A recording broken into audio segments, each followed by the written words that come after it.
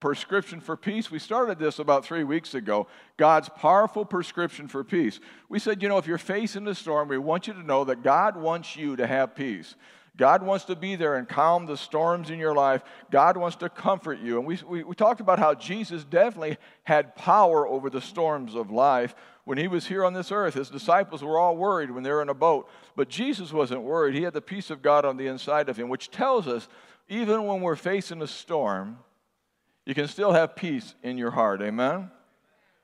We went to, where we started in Philippians chapter 1 in verse 1, where it said, Paul, and Timothy, the servants of Jesus Christ, to all the saints of Christ Jesus, which are in Philippi, with the bishops and the deacons. And it says, Grace be unto you. Man, thank God for God's grace. Amen. If you've ever messed up and you've relied on God's grace, please say amen. Amen. Amen, amen, amen, amen, amen, amen, amen. Grace be unto you and peace. Right there, the Apostle Paul saying, God has grace for you, and you can feel and sense and receive God's peace from God our Father and from the Lord Jesus Christ. God gives us peace, and the Lord Jesus Christ gives us His peace. And the peace that Jesus gives us is for eternity. He says, My peace I give to you, not as the world giveth you I peace, uh, but, but when I give you peace, you really have peace. Now, in Philippians 4, uh, chapter 4, and verse 7, it says this and the peace of God, which passeth all understanding. Well, that's true. When you're going through a very hard time in your life, things seem to be coming against you, storms seem to be raging against you, emotional things seem to be slapping you, uh, financial things, or whatever it would be. The Bible says, and the peace of God which passeth all understanding. There's a peace that we can have in the midst of a storm, shall keep your hearts and your minds through Christ Jesus. So God is telling us that you and I can have His peace. You and I can feel the peace of God even though we are facing a storm in our life, even though we're facing a situation in our life, even though things seem to be coming against us in our life, even though there's emotional upheaval in our hearts. God says, I can calm that storm and I can give you peace in your, in your mind and in your heart. Say, Thank you, Jesus. God promises his peace to us. Now, what we did is we went and we said, okay, verse 7 said, And the peace of God, which passes all understanding, shall keep your hearts and your minds through Christ Jesus. But before that, God actually gives us a prescription on how to have that peace. And that's why he says, and now the peace of God, which passeth all understanding, will keep your hearts and mind. He says that because before that, he actually writes out a prescription on how you and I can have peace when storms are all around us or storms are trying to uh, cause us to sink or uh, give up. Now, the. Uh, the first point we made a couple weeks ago is this in Philippians 4, verse 4. It says, Rejoice in the Lord always. And again, I say rejoice. So part, so part of the prescription for having peace when there's a storm brewing all around you, part of it is to start to rejoice. It sounds silly, but that's what God says. You know, the Bible does some funny things. It says, forgive so you'll be forgiven. Forgive and you'll feel better. That sounds odd. It seems like we slap the person, we'd feel better, but God says, no, you forgive and then you'll feel better. The Bible says, give and it'll be given back to you. That sounds odd. I want you to give to me. But God says, if I give to you, then I'll be blessed myself. God has a way of turning things around. He says, now, if you're not happy, things are going uh, funny in your life, things seem to be slapping you around, rejoice. I don't feel like rejoicing. I feel like whining, but God says rejoice. So just give God a hand clap right now, why don't you? Just give him a rejoice. then we went then we went to point two, and point two was be gentle and not hostile. Be gentle and not hostile. Sometimes when you're going through a tough time, you have a short fuse. I don't know if parents, have you ever noticed this, but sometimes when you're upset, things aren't going right at work, uh, you're short with the kids. You know the story about the man, his boss yells, at, yells at him at work, so he comes home, the wife's there, he yells at the wife. The wife turns around and yells at the kids. The kids turn around and kick the dog. It seems like whatever, whatever's going on, we, we take it out on somebody else. So the natural thing is when you're going through a tough time, is to get angry or upset or to take it out on somebody, to be short tempered. And, and God's saying, Look, I want to give you a secret, a prescription for peace. And the prescription for peace is simply this rejoice in the Lord always. And again, I say rejoice. And then let your moderation be seen by all men. That's how it says it. Let your moderation be seen by all men, for God is here. God is with us. So what it's saying is, let your gentleness be seen by all men. That means that when I sow gentleness, I get gentleness. If I'm on a stormy sea, I want the sea to be gentle. How, how many here agree? Amen? So when storms of life come against you, one of the things God says is, first of all, rejoice. Doesn't make sense to our natural mind, but rejoice. The next thing is, don't be hostile, be gentle. Why? Because when you sow something, you receive it back. If you want the storm to stop, you don't help stir the storm up by moaning and groaning and complaining and yelling and giving other people a hard time. You do that by sowing peace. Amen? So be gentle, not hostile. Turn to somebody and say, listen to him, be nice to me. Then we said, point three, uh, Almighty God, in His wisdom, knew that my sister would be on this earth at this time and coming to this church. And, and number three was just for her. Uh, decide not to worry. My sister went to the doctor the other day and they gave her good news. She said, The doctor said, Don't worry. I said, I bet you were mad at the doctor because you like to worry. I said, I'll try to give you something to worry about. Sometimes we, we like to worry, but God says, Look, one of the things you don't want to do is, is moan and groan because uh, you want to rejoice. One of the things you don't want to do is be harsh with others because you want to peace inside yourself. So be gentle with others and you'll reap peace. And another thing is decide not to worry. You say that's impossible, that's hard. A lot of things seem hard when you first start doing it, but after you start doing it, then it gets easier and easier and easier and easier. You used to you used to not be able to walk, and then one day you were able to walk. You used to not be able to ride a bike, and one day you were able to ride a bike. You weren't able to talk, and so you, you said funny things, blah, blah, blah, gaga goo goo, and da da and mama, and pretty soon now you're speaking. So everything can be difficult at first, but you can do it in Jesus' name. You can decide not to worry. Amen. You say, no, but I was brought up that way. Well, you, your father now is Almighty God, and he's not a worrywart. God doesn't worry about nothing at all. Then we said number, number, number four. We went to number four, and in everything, pray. In everything, we need to pray. He says, be careful for nothing, but in everything by prayer. Uh, we should pray about everything. We should pray in every situation that we're in. We should always pray. My pastor, Pastor Sumrall, people would know that worked for him. If you walk behind him when he's walking down the hallway, he didn't know you were there. He'd be praying in the Spirit. He would always be praying because he was, he was somebody who understood a lot of things could be going on, but what you want to do is you want to make sure you pray. In, in, every situation, make sure you pray. See, what happens is sometimes we get mad at God. Why did you allow this? Why is this happening? I'm going to quit praying. I'm going to quit running to God. I'm going to run away from God. I don't want to pray to God. I want to yell at God. The Bible says, look, first of all, rejoice in the Lord always. And again, I say rejoice. Let your moderation be known to all men the Lord is with you. Uh, make sure you're gentle, and then don't worry about anything, and then pray. Make sure you go to God. That's where our strength is. Amen. Our strength is when we go to God, not when we run from God. There's a tendency for all of us to get mad at God at different times in our lives. And if we're not careful, God is our strength. God is where we get our strength. And if, if we could turn around and we start to run away from God, we lose our strength. We, use the, we lose the joy of the Lord. We lose that peace that's available. So we need to spend time in prayer. Turn to somebody and say, uh, You can pray, but not right now out loud. Go ahead. Now, let me talk to you for a minute about point number five. If you join me in uh, Philippians 4, verse 6, it says this Be careful for nothing, but in everything, by prayer and then it says a word that's interesting. It says, and supplication. With thanksgiving, let your request be made known unto God. So it says, uh, everything by prayer and supplication. I've been asked over the years, what in the world is supplication? We're going to talk about that today. Before we talk about supplication, though, I want to talk to you about the different types of prayer. And different people uh, may have different titles for the different types of prayer, but let me just give you some. Uh, the, the titles I give it. First of all, there's a prayer of agreement. When you and I pray, we can come together. If two on earth shall agree on earth, a- a- asking, as touching something, asking, the Lord will do it. So you and I can have a prayer of agreement.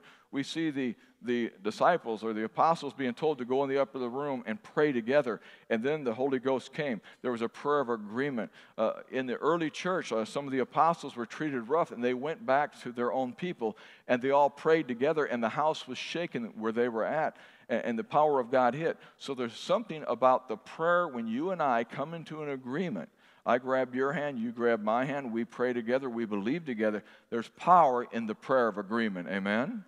What happens a lot of times is you and, you and somebody will grab hands and you guys will have a prayer of agreement, and then that person will walk away going, No, I don't think it'll ever happen. That breaks the prayer of agreement. If you pray a prayer of agreement, stick with the prayer. Amen?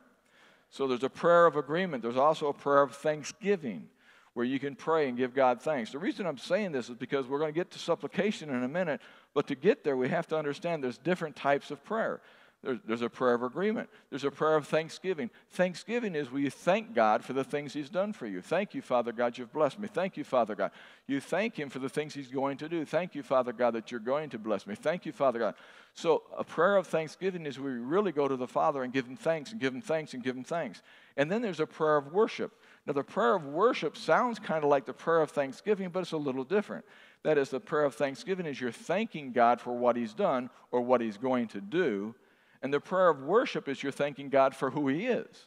God, you're wonderful. God, you're almighty. God, you're good. I praise you, Father God, that you're such a good God. I thank you, Father God, that you're a God that supplies all of our needs. I thank you, Father God, that you are just a good God. You're a gentle God. You're God of peace. We thank you, Father God, that you are so wonderful. That's a prayer of worship. So you can have a prayer of intercession. That's the next one prayer of intercession. And that is where I pray for you or you pray for me. You can have a prayer of worship where we worship God, a prayer of thanksgiving, we thank God for what He's done. We can have a prayer of, of, agreement where we come into agreement. So, all these are types of prayer. Each one of those are important. A prayer of agreement, when you and I can grasp hands and agree on something, that's important. It's in the Bible the prayer uh, of intercession, praying for each other, that's important. It's in the Bible. God says, I looked all around for somebody who'd stand in the gap and couldn't find anybody. So the prayer of intercession is important. The prayer of worship, where you worship God, is important. The prayer of thanksgiving, thanking God, is important. So now we come to this supplication. Remember, this, the verse we were reading is in Philipp, excuse me, Philippians 4 6. Be careful for nothing, but in everything by prayer and supplication with thanksgiving. Now, if you listen, with thanksgiving, we're going to get there in a minute, but remember, thanksgiving is a type of prayer. So is, so is uh, supplication. Supplication simply means this petition. When you petition God, when you request from God. See, when you're worshiping Him, you're not requesting.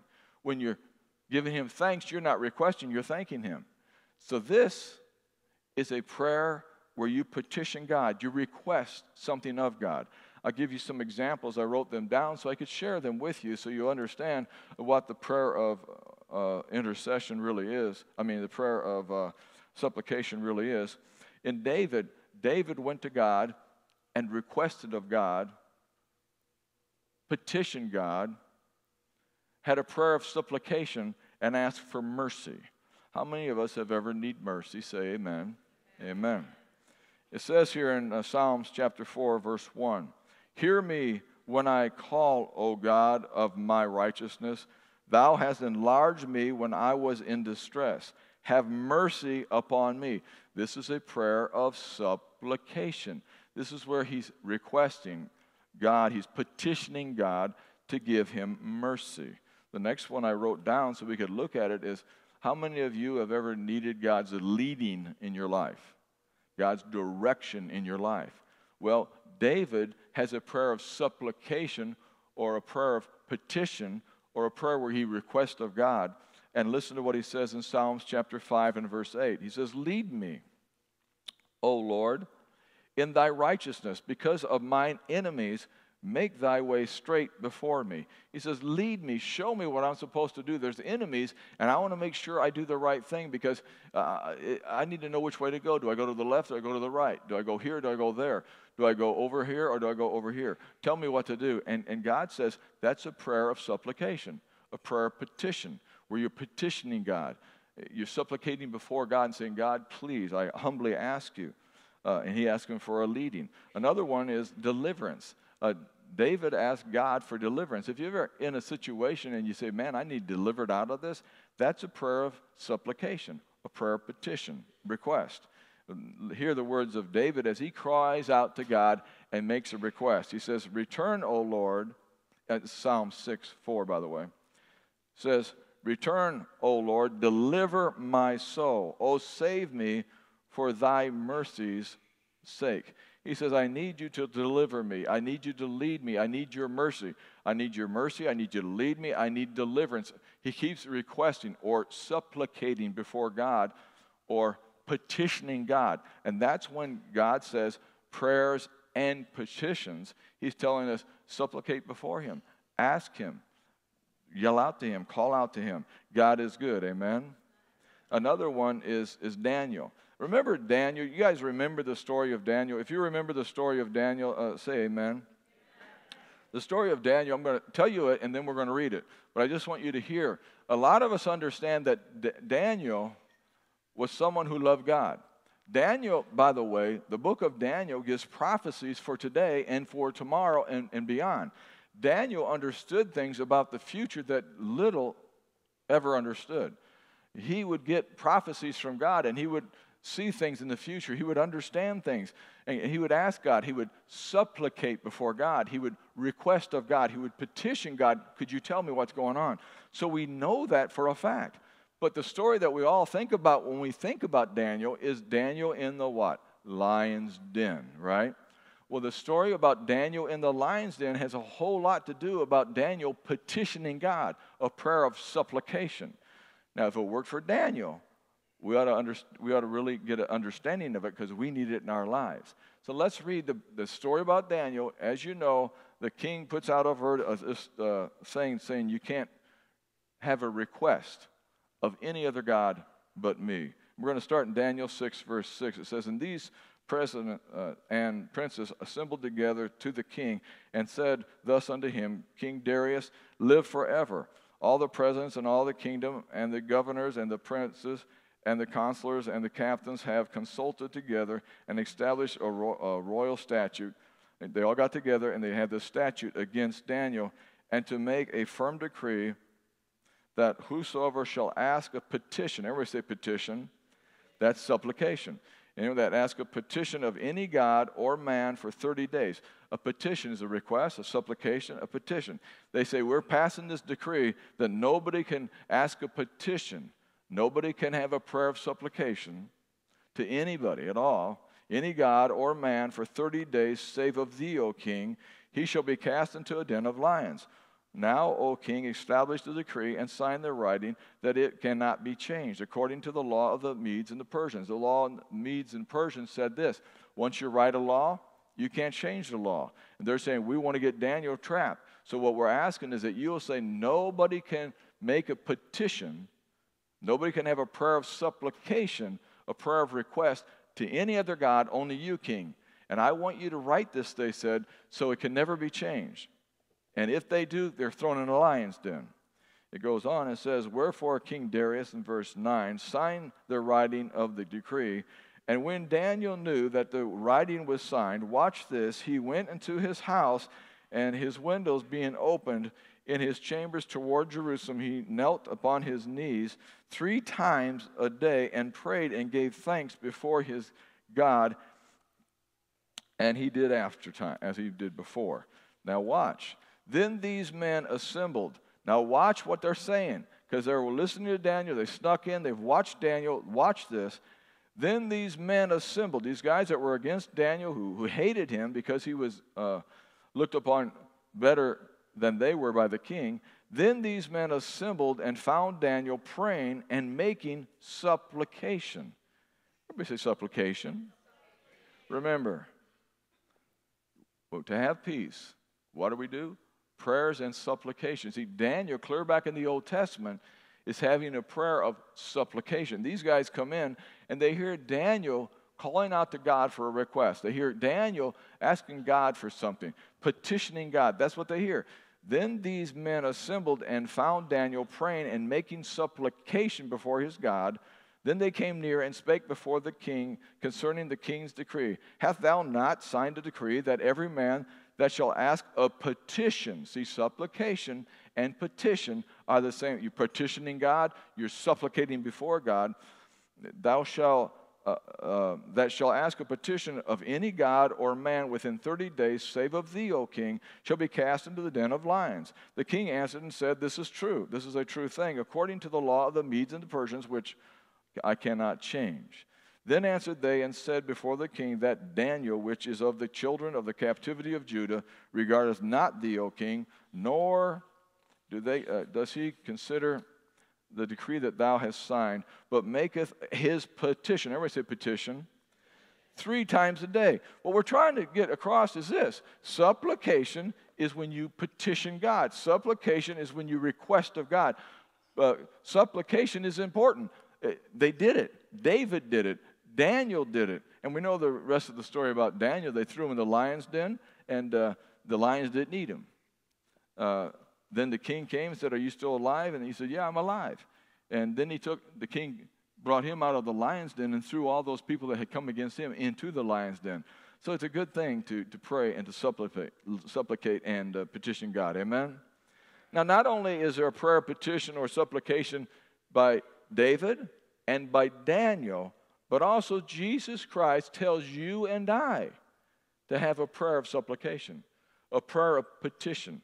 And that's what, when they came to him and said, uh, John the Baptist has taught his disciples how to pray. Can you teach us how to pray? He said, uh, Pray in this manner. And when he started to pray, and part of his prayer was in Matthew 6 11, he said this this is a supplication or request before God. In Matthew 6 11, Give us this day our daily bread.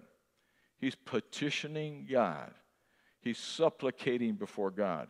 It's a prayer of supplication where you ask, you request, and you petition Almighty God. He says, Give us this day our daily bread. So we can do that. We can ask God, amen? Some people only think about the prayer of what some would call consecration. Uh, your will be done. There's a prayer of consecration where you say, Thy will be done. But there's also the prayer where you just request and you ask God, you petition God. See, thy will be done. Jesus prayed that prayer. Jesus prayed, thy will be done. When, when he was going to go to the cross, he said, if there's any other way to let this cup pass from me, but if not, thy will be done. So that's a prayer of consecration. But there's different types of prayer. And some people always say, Thy will be done. God says, I already told you my will. For instance, let me give you an example. How many know that God wants all men to be saved and come into the knowledge of God? Yes. So there's no reason to pray and say, God, do you want me saved? There's no reason to say, Do you want my mother in law saved? Even though some of you don't want your mother in law saved.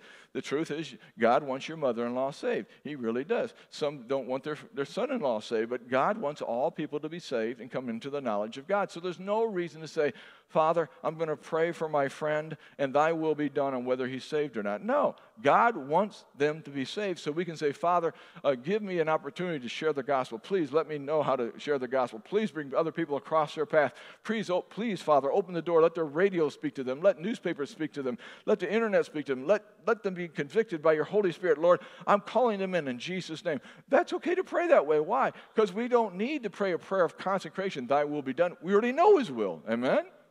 Amen. So Jesus, when he said, Thy will be done, he was just consecrating himself. He, he knew, okay, I'll give myself. But the prayer of petition, the prayer of supplication, is where you request God and say, God, I need something from you. If you need peace, if you need peace, rejoice in the Lord always. And again, I say rejoice. Have peace. and then pray and have supplication. So pray and ask God, Father, I need your peace. I ask your peace. I receive your peace. Pray for God to change the situation. It's okay. You supplicate before God. God, I have a request. Could you turn this thing around? God, I need your help. Will you please help me? The, the disciples the apostles, we make fun of them.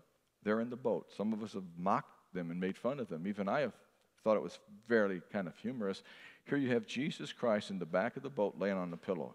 Jesus Christ who has multiplied fish, Jesus Christ who has walked on water, Jesus Christ who has lame, who have healed the lame, Jesus Christ who have healed the leopards and opened blind eyes, Jesus Christ who turned water into wine. He's laying there sleeping in the back of the boat, and a storm hits, and they get so upset and they get so nervous and we, we almost mock them because they say, Jesus, don't you care about us? Look at the storm. And, and we all mock them and say, they're so silly. He gets up and he says, Peace be still, and he brings peace. So we mock it and make fun of it. Why would they get so upset with Jesus in the boat? Listen, they did the right thing. They supplicated They prayed. They went to Jesus. So when you and I are facing a storm, yes, Jesus is in your boat. Yes, you are in Jesus' boat. But yes, it's time to turn and say, God, I need your help. Amen? So if we make fun of them, then we have to make fun of ourselves. And, and we make fun of ourselves enough. Why don't we just say, you know, they need God's help. I need God's help. They had to ask Jesus. I have to ask God. Amen? So it's okay. The Bible says, look, rejoice, but also make sure you pray and supplicate. Give a request to God. And when you give a request to God, make sure you're specific. Ask God what it is you're asking for. Ask God, Father, please forgive me for this situation. Father, please do this. Father, please do that. God wants to bless you. Amen. God wants to bring peace to you. Petition God. And then the sixth thing, I believe in the petition or the uh, prescription, God's powerful prescription for peace. First, we, of course, rejoice, like we said. Rejoice in the Lord always. And again, I say rejoice. Let your moderation be known unto all men. The Lord is with you. Uh, be gentle and not hostile. Uh, don't worry, Patsy, don't worry. And then pray and then uh, petition God. It's okay to petition God. You can worship Him and all that, but make sure you petition Him. Now, Philippians chapter 4, verse 6 says, Be careful for nothing, but in everything by prayer and supplication. And then it says, with thanksgiving. So the, the next point, point number, what is it? Six, is this give thanks. Give thanks. It's important that we give thanks. It's important that we break through and start to give thanks because the devil, the enemy, the Bible says is, your de- is the devil, he's your enemy, would like to stop you from giving thanks. He wants to stop you from giving thanks. Rejoice is one thing, giving thanks is another. That's thanking God for what He's done, making sure that we thank Him for what He's done and what He's going to do in our lives. See, thanking God for what He's done, that's being grateful. Thanking God for what He's going to do is faith. Father, I thank you. I'm in the middle of a storm, but you're going to bring me out of this. I thank you, Father God, that I'm in the storm, but you're going to deliver me. That's called faith. Thank you, Father God, for what you've done. That's called gratitude. Thank you, Father God, for what you, you're going to do. Thank you, Father God, that you're giving me the victory. That's called faith. So when we start thanking God in the middle of a storm, in the middle of a disaster, in the middle of a situation, in the middle of grief, in the middle of whatever, when you start rejoicing, it's good. That's a good thing. But when you start thanking God, thank you, Father God, I'm delivered from this. Thank you, Father God, you're delivering me from this. Thank you, Father God, I'm getting through this. Thank you, Father God, I'm getting on the other side. Thank you, Father God, I'm not going under, I'm going over. Thank you, Father God, you're delivering me. Thank you, Father God, I have the victory because of you. I thank you, I thank you, I thank you, I thank And all of a sudden, things turn around. Amen? So here, why don't you do this? Because sometimes it's hard to do this. Put your hand up like this if you would, please, because I know how hard this is. I've been there.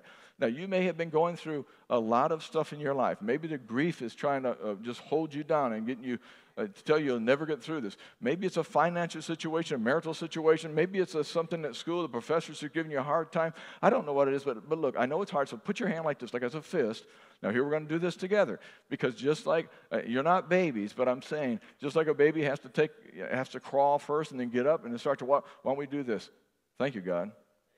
Thank you, God. Thank you, God. Thank you, Father God, you're delivering me. Thank you, Father God. I give you praise. Thanking God for what He's done. I thank you, Father God, for what you've done in the past. I thank you, Father God, you delivered me in the past. I thank you, Father God, you brought through, brought me through that stuff in the past. Thank you. Okay, now we got there. Let's go number two.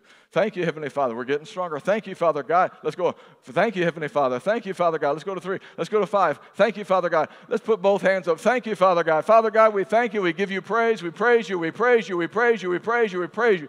Thank you, Father God, that grief grief is broke in Jesus' name. Thank you, Father God. You're bringing me through this situation. I thank you, Father God. I praise you, Heavenly Father. Father, I give you thanks. I give you thanks for what you've done. And I give you thanks for what you're doing. And I give you thanks for what you're going to do in my life. I thank you, Father God. Now start thanking Him. Right now, where you're at, start thanking Him for things that He's done in your life. Remember the things that He's done in your life and start thanking Him. Father, I thank you for what you did. Thank God. Think of some situation that He brought you through and start thanking Him for that. I thank you, Father God. I thank you for that time in my life. I see it, Heavenly Father. I thank you, Father God, when that bus was going to, or when that truck was going to hit me, that you somehow made that truck miss me. And that's a true one for me. I thank you, Father God. I thank you, Father God. When they said I was dead, you decided I didn't have to die. I thank you, Father God. I praise you, Father God. When they said it was all over in the church, it wasn't over. I thank you, Father God. I praise you, Father God. I praise you, Father God. When finances looked like they were just going to go under, somehow you turned it around. I thank you, Father God. I thank you, Father God. I thank you, Father God. I thank you. I thank you. I thank you. I thank you. I thank you. I thank you. I thank. Now start thanking God for the next thing, the situation changing where you're at right now. I thank you, Father God. That grief is broke. I thank you, Father God the victory is mine. I thank you, Father God. I thank you that you're bringing me through this. I thank you, Father God. The joy of the Lord is my strength. I thank you that your peace is within me. I thank you, Father God. If you've done it before, you're doing it again. I thank you. I thank you. I thank you. I thank you. I thank you. I thank you. I thank you. I think I'm looking around this room. Nick, you're over there. Man, you should be praising God, standing up. Stand up, Nick. Just start praising God. You ought to be thanking God right where you're. He was supposed to be dead. He's alive. Thank God. Thank God. Thank God. Thank God. Thank God. Thank God. Thank God. Thank God. Thank God. Thank God. John, John, stand up. Give God. Nick, stay up. Stay up, Nick. Get up. Nick, Nick, stay up, Nick. Nick, stay up. Start giving God thanks. Give God thanks if you've had God spare you, if you've had God bless you, if you've had God turn a situation around, if you have been in the midst of a situation and God's blessed you, stand up and give Him thanks. Stand up and give Him thanks. If you've had one, if you don't, don't. But if you had, uh, Lisa, man, you ought to be standing up and thanking God. You and I have been to the dark side. We've been there, but the devil couldn't hold us. We made it back up. Thank you, Father God. Thank you, Father God. Give God thanks. Give Him thanks. Give Him thanks. Give Him thanks. Give Him thanks. Give Him thanks. Give him thanks. Give him thanks. Thank you, Father God. Thank you, Father God. Thank you, Heavenly Father. Thank you, Father God. How about this? Just remain standing, if you would, just for a minute. How about this? When you messed up and the devil whispered in your ear, it's over. God's mad at you. You're damned for eternity. You messed up big this time. He's not going to forgive you. And then you found the mercy of God. Thank you, Father. If that's ever happened to you, just give God thanks. Father, I thank you. I thank you, Father God. You've forgiven me. I thank you, Father God. I praise you, Father God. The enemy's been telling me that I can never be cleansed, but you've cleansed me. The enemy's been telling me that my sin will never leave your mind, but you said you've dropped it in the sea so deep that you, it's gone forever. I thank you, Father. The devil's told me that I, I, I just can never cleanse myself, but you've said that Jesus' blood has cleansed me. And I thank you, Father God. I thank you for your grace, Father. I thank you, Father God, when the enemy told me I will never be used of you again, that you've used me again. I thank you, Father God. I thank you, Father God. I thank you, Heavenly Father. Father, I thank you. I praise you. I praise you, Father God. I praise you, Father God. How do I have peace? Well, who's trying to steal your peace? The devil. He's telling you you'll never make it to the other side.